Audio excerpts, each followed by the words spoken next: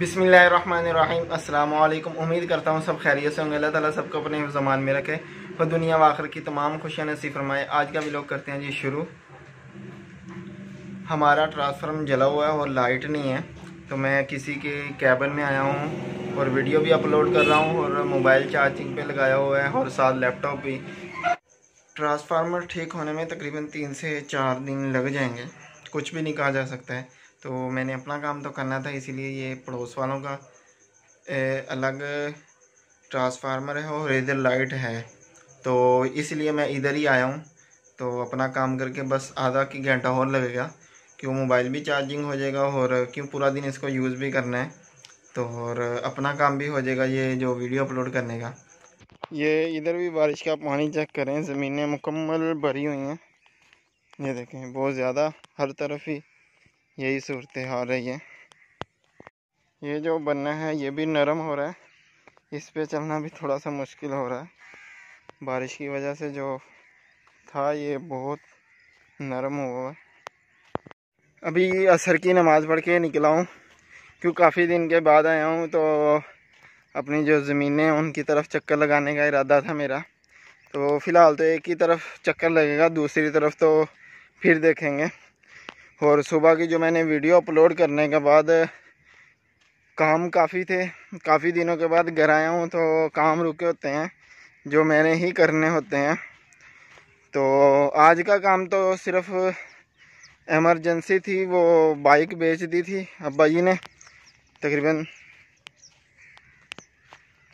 तकरीबन एक हफ़्ता ही हो चुका है बाइक बेची को, और तंगी काफ़ी हो रही है, और मुझे भी हुई है। क्यों मैंने शहर जाना था निकल बाइक ना होने की वजह से नहीं जा सका हूँ। अपने एक दो दोस्त से भी मांगी थी, लेकिन उसने दी है, खड़ी है घर में। एक दोस्त है, उनका फ़ोन आया हुआ था, बाइक देखने जाना था, बस वही देखने गए थे, एक दो बाइक देखी हैं तो तो पसंद नहीं आई हैं। तो इस वजह से वो ली नहीं थी क्यों उसमें कुछ प्रॉब्लम था, क्यों हमें तो इस वजह से नहीं लिए हैं। तो और अभी भी मैंने बाइक देखने जाना है। तो अब्बा जी के साथ जाना था, इसलिए अब्बा जी अभी तस्वीर कर रहे हैं। इसलिए मैंने उनको कहा कि आप तस्वीर मुकम्मल कर लें। तो इतना मैं ज़मीन में चक्कर लगा के आता हूँ। तो फिर चलेंगे। और ट्रांसफार्मर नहीं है। ट्रांसफार्मर जला हुआ है और उसकी वजह से भी काफ़ी माहौल में गड़बड़ सी आ रही है। क्यों लाइट नहीं है, पानी का मसला बनता है और जनरेटर चलाना पड़ता है। और जनरेटर में भी कुछ प्रॉब्लम था, वो वो भी मैंने ठीक किया है, तकरीबन आधा घंटा लगा के। क्यों मोबाइल की चार्जिंग नहीं?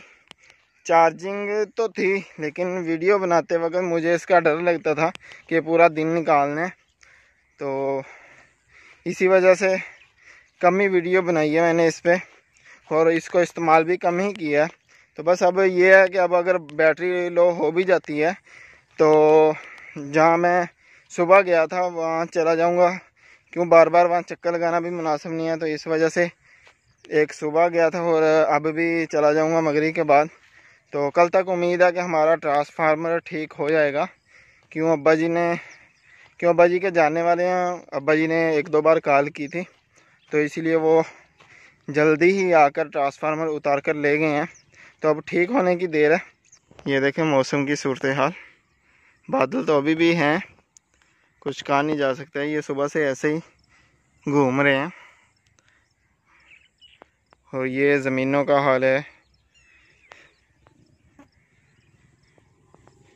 पानी से भरी हुई है हर तरफ़। ये जो हमारी साथ वाली ज़मीन के साथ जोड़ने की जो फ़सल है, माशाल्लाह देखें। ये भी इनकी भी काफ़ी खूबसूरत खड़ी है। तो हमारी वो अगली ज़मीन है। तो चारा जो हमने बीजा था वो तो अब कट चुका है। अब्बा जी ने पीछे से जो काट के भैंसों को चार लिया है। तो अब पता नहीं क्या बीजेंगे।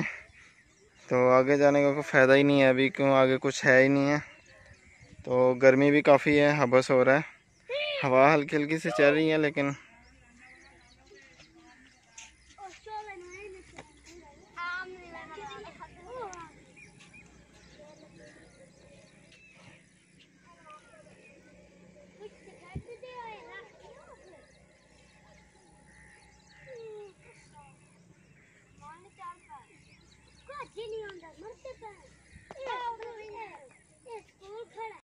बस थोड़ा सा टाइम है, क्यों शोरूम पे जाना है बाइक देखने के लिए। तो बस अभी थोड़ी सी पाँच की मिनट है, पाँच दस मिनट उसके बाद हम निकलेंगे वापसी के लिए। और ये जो गाँव की ज़िंदगी है, ये बहुत ही मज़े की होती है। फिर, घूमने फिरने को खुला माहौल है, जहाँ मर्ज़ी जाएँ। क्यों शहर में रहना मुश्किल है और वहाँ निकलना भी मुश्किल है क्यों वहाँ घूमने के लिए? जगह तो मखसूस होती हैं, पार्क वगैरह होते हैं, लेकिन जो ये है, जो यहाँ विलेज का मज़ा है ना, जो गाँव का मज़ा है, उसका मज़ा शहर में नहीं है। तो काफ़ी अच्छा लगता है इधर। जो ये विलेज लाइफ है, बहुत मज़े की होती है। बस अभी हम ज़मीन भी और लेने का इरादा कर रहे हैं कि काफ़ी ज़मीन ख़रीदेंगे अभी। क्यों? अब ये जो वही का सिलसिला आगे बढ़ाने की कोशिश है हमारी। तो बस अल्लाह ख्याल करेगा इन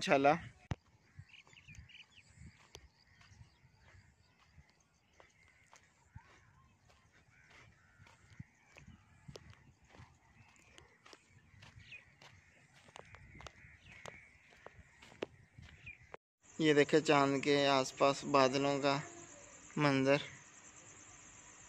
काफ़ी हो रहे हैं। हम मगरी के वक्त आए थे शोरूम से तो कोई बाइक एक पसंद आई थी, लेकिन उसका रेट जो हमने तय किया था, वो तय नहीं हो पाया। तो बस अभी तलाश में है, कोई मिल जाए। तो आज का पूरा दिन भी इसी काम में गुजरा है, ढूँढने में और जनरेटर का काम में। तो हमारा तो अभी भी जनरेटर चल रहा है। क्यों? फ्रिज चलाई हुई है, थोड़ी सी कूलिंग करने के लिए। आज की वीडियो को हम इधर ही ख़त्म करते हैं। अच्छी लगी हो तो लाइक शेयर ज़रूर करिएगा और कमेंट करके बताइएगा कि आज का भी लोग कैसा लगा और मेरे चैनल को सब्सक्राइब करेगा इंस्टाग्राम पे फॉलो करेगा और अपने भाई को दुआओं में याद रखिएगा। अगली वीडियो तक के लिए इजाज़त और बहुत सारा प्यार। अल्लाह हाफिज़।